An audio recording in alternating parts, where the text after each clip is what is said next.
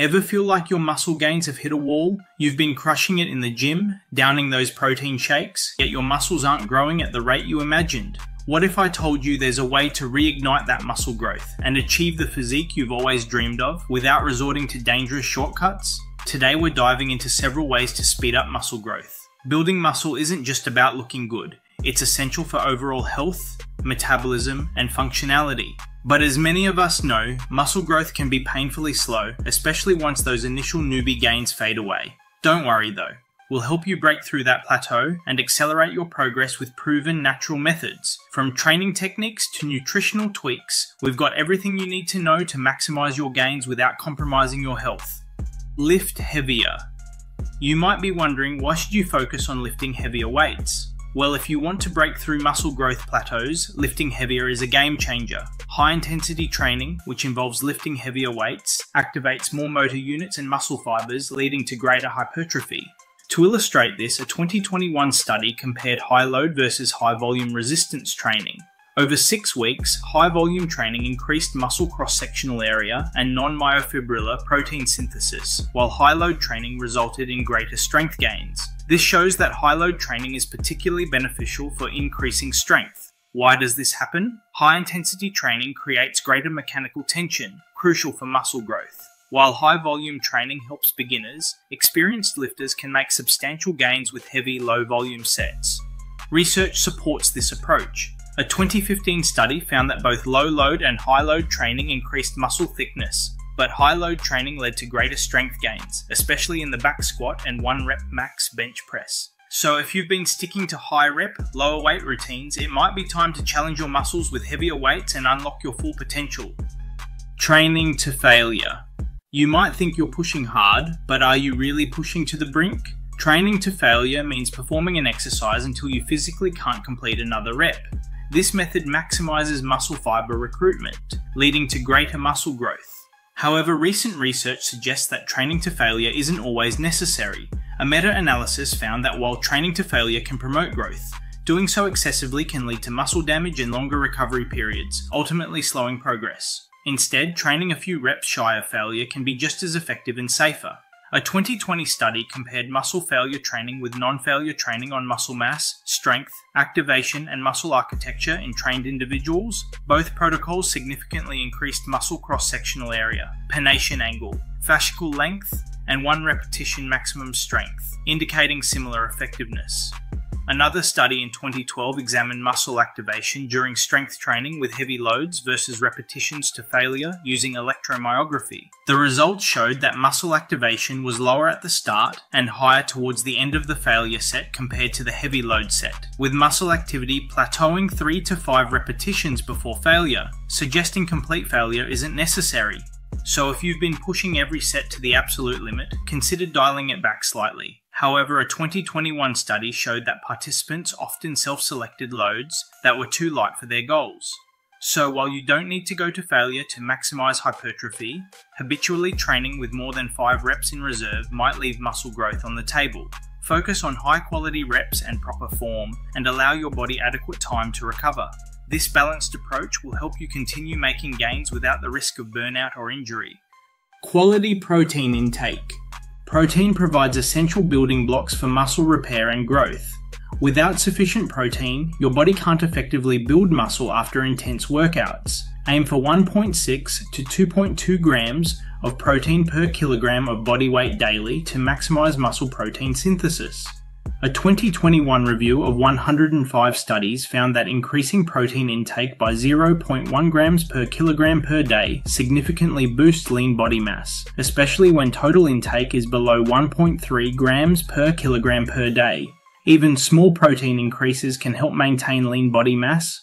Strategic protein timing is crucial. Consuming about 40 grams of protein 1 to 3 hours before bed can significantly enhance muscle protein synthesis throughout the night. A slight caloric surplus is also necessary for muscle growth. A 2023 study on trained lifters showed that a 5% extra calorie intake led to better bench press gains and less fat increase compared to higher surpluses, highlighting the importance of moderation and suggesting a range from maintenance to 20% rather than the traditional 500 calorie surplus. High quality protein sources are essential. Animal proteins like meat, fish, dairy, and eggs provide all essential amino acids. For plant based diets, combining sources like beans and rice ensures a robust amino acid profile. Get enough sleep. Sleep is crucial for hormonal balance and protein synthesis, both essential for muscle recovery and growth. Research from the American College of Physicians found that subjects who slept 8.5 hours per night while in a calorie deficit lost more fat and retained more muscle compared to those who slept only 5.5 hours. This underscores how critical sleep is for muscle preservation and fat loss. Lack of sleep has been shown to reduce testosterone production by 10 to 15% in just one week. It also decreases levels of IGF 1, a crucial hormone for muscle hypertrophy that works via the mTOR pathway to increase protein synthesis and is essential for satellite cell proliferation. Sleep deprivation not only hampers anabolic processes but also increases catabolic activity. It elevates cortisol levels, a stress hormone that inhibits protein synthesis and activates pathways leading to muscle breakdown. Chronic elevations of cortisol can severely impede muscle growth and recovery. Prioritizing sleep means not just getting more hours but also improving sleep quality. A 2020 study demonstrated that individuals who received lessons on sleep hygiene and followed a consistent sleep schedule gained muscle 30% faster over 10 weeks compared to those who didn't. This highlights the profound impact of quality sleep on muscle growth. There's no one size fits all answer to how long you should sleep for, but aim for 7 to 9 hours of uninterrupted sleep each night. However, if you need to wake up to an alarm, you're not sleeping long enough. Perform more sets. When it comes to muscle hypertrophy, increasing your training volume can be a game changer. Performing more sets can lead to greater muscle growth. But how many sets should you be doing? According to a 2017 review, performing 4 sets per muscle group per week is sufficient for substantial gains. However, another study from the same year found that doing more than 10 sets per muscle group per week resulted in the most growth. Some studies suggest even higher volumes might lead to more significant hypertrophy, but there's a caveat. The additional gains from extremely high volumes might be due to an increase in sarcoplasmic space, a long lasting pump caused by increased intramuscular fluid. This type of growth, known as sarcoplasmic hypertrophy, isn't the same as true muscle growth, which involves the addition of new muscle fibers. Additionally, a 2016 study had participants train one leg with 6 to 9 sets per week and the other with 15 sets per week. Results showed that responses to training volume are highly individual. This study suggests you don't need high volume to build muscle, and over time, excessive volume can hinder growth due to increased fatigue and insufficient recovery. To find the optimal number of sets for you, consider starting at the lower end of the 10 to 20 weekly sets range, especially if you're a beginner. Gradually increase the volume as you gain experience and if your progress stalls. Time under tension. Maximizing muscle growth hinges on the time your muscles spend under tension. Control each rep, taking 2 to 8 seconds, to ensure effective muscle fiber engagement. This isn't just about rep speed, but using a full range of motion, focusing on fully stretching and contracting the muscle during each exercise. In a 2011 study, eight men performed slow and rapid leg extensions to failure. The results showed that the slow exercise increased muscle protein synthesis rates more significantly than the rapid exercise, suggesting that longer muscle tension time during exercise may enhance muscle growth. Using a full range of motion involves more than moving the weight from point A to point B. It's about achieving a full stretch and contraction. For instance, in a dumbbell press, lower the weights to fully stretch your chest muscles. Similarly, in squats and bicep curls, aim for a deep stretch at the bottom of each rep. Choosing the right exercises is crucial for maximizing muscle stretch. Research shows that exercises challenging muscles in their stretch positions lead to greater hypertrophy. Studies on quads, hamstrings, biceps, and triceps confirm this. For example, behind the body cable lateral raises for shoulders can lead to more significant growth than standard dumbbell lateral raises. Training at longer muscle lengths can also enhance muscle growth. A 2019 study found that squatting through 140 degrees of knee flexion led to similar quad growth as squatting through 90 degrees, suggesting that training at longer muscle lengths maximizes growth without needing to push to the absolute longest muscle lengths. For optimal results, incorporate exercises that maximize muscle stretch, control the weight, use a full range of motion, and focus on the stretch phase of each movement. This approach targets the muscle effectively and stimulates growth efficiently. Cold therapy. Cold therapy, including cold showers, immersion, and cryotherapy, offers significant benefits for muscle recovery by reducing inflammation and promoting muscle gene expression. When exposed to cold, your body works to maintain core temperature, burning calories, and stimulating brown fat, which boosts metabolism and aids muscle recovery. Cold exposure increases the activity of genes crucial for muscle growth and repair, as well as RNA, essential for protein synthesis in muscles.